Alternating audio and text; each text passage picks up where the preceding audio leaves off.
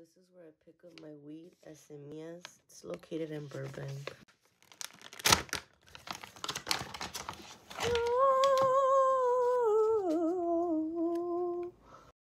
I picked up on.